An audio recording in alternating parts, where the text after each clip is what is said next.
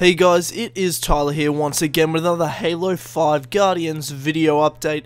This time we're going to be looking and analysing E3 and what Microsoft and Halo had to offer us for Halo 5 Guardians. Now, two main elements obviously that we're going to go over, which is the campaign and the multiplayer. First, we'll start with the campaign, which had a demo with a kind of gameplay trailer either side setting up to that demo, and then following that. So a lot of story elements we can take away from this. Obviously, we know there's a battle, obviously, between Master Chief and Agent Locke and their two squad. Master Chief's squad with the other Spartan 2s that he's fought with in the past, and Locke with his team, including Spartan Buck, who obviously was our commander or sergeant in ODST. So that's really cool to see Buck come back. And uh, we kind of get a glimpse into that Master Chief has done a lot of stuff that we don't really understand as of yet and have no real reason to know why he's done it. So in the trailer, we hear Lasky kind of talking, I think it's Lasky, saying that Master Chief's missing and he's gone.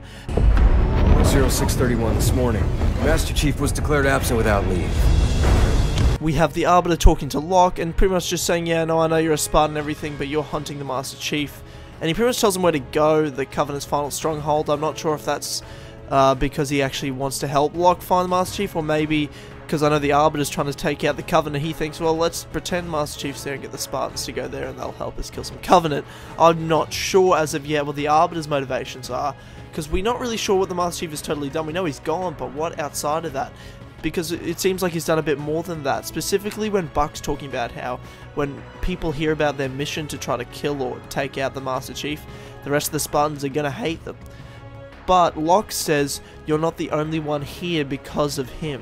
Every soldier, when they hear about this, they're gonna hate us. You know that, right? You're not the only one here because of him. So, what has the Master Chief done to Locke? What's the Master Chief done to Buck? And what's he done to these other people or Spartans that Locke's talking about? I really, really would like to know what's the motivation here behind trying to take out the Master Chief. So there's just those few little story hints that leads us into the demo we see at the Covenant Stronghold. And if, I mean, Halo 4 on the 360 looked bloody good, but holy crap, Halo 5 on the Xbox One, the first next-gen Halo, it looks great. It looks like Halo 4 with a lot of uh, improvements graphically, gameplay-wise. Um, very fluid looking, seems to run very smoothly.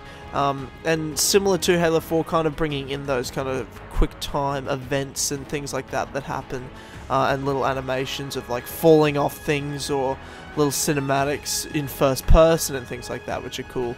And it's cool we get to see glimpses of Locke's special abilities, being able to analyze zones, seeing the squad and how you direct them to do what you want to do. We see Covenant back, obviously, and the return of Prometheans, some new and some old. And uh, in the end of this demo, quite interesting because we get a glimpse of the Guardians and everything, which just seem like I'm not sure if they're living Prometheans or they're actually just ships or vessels that are used by Prometheans or others. I'm not sure, the Forerunners. I just don't know exactly what these Guardians are as of yet. Uh, but obviously they're not they're not great news. At least that's what I'm able to tell. Uh, and we also get to see definitely some new enemies, but at the end of the demo, something happens that's very strange to me. So we have this like Uber Promethean that has like a voice and's talking. Uh, not sure who he is. I don't think it's like a Promethean didact yet. Uh, but we see him kind of jump out, pushes down Locke, and he says to Locke, The Master Chief is called, but you, your passage is denied.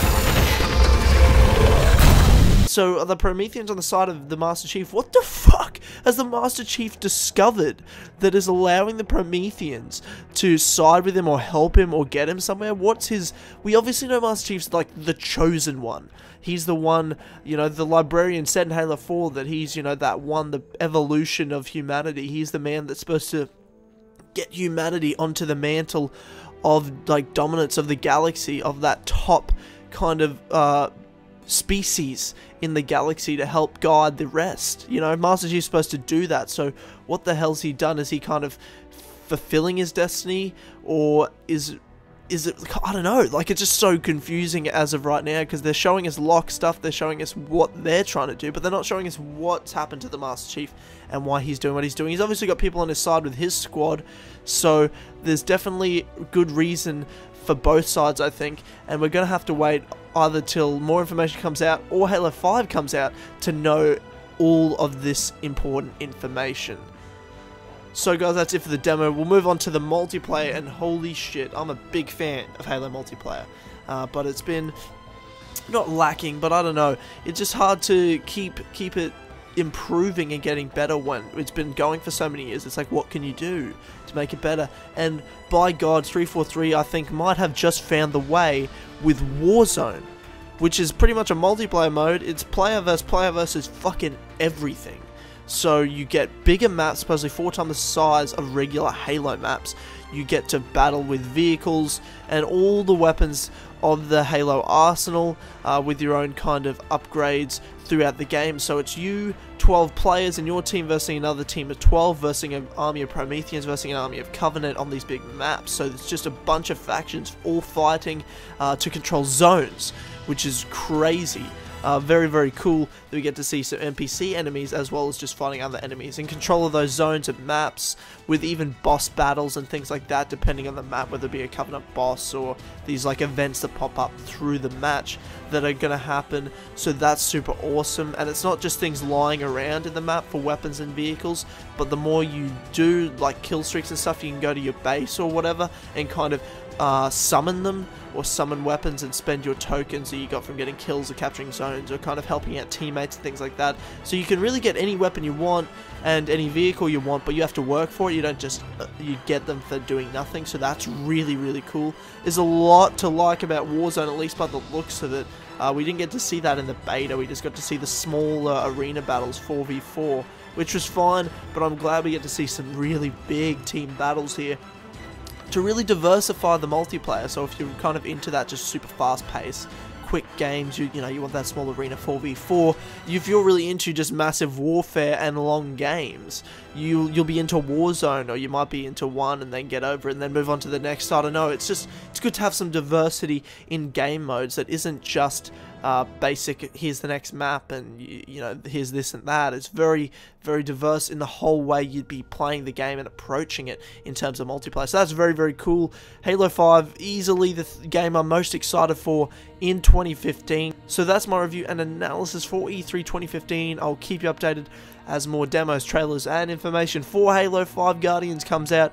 And um, I'll be doing a Halo 2 anniversary legendary run soon. Uh, so I'll be uploading that. So stay tuned, ladies and gentlemen, for that. Thanks heaps for watching, and I will see you guys in the next Halo video.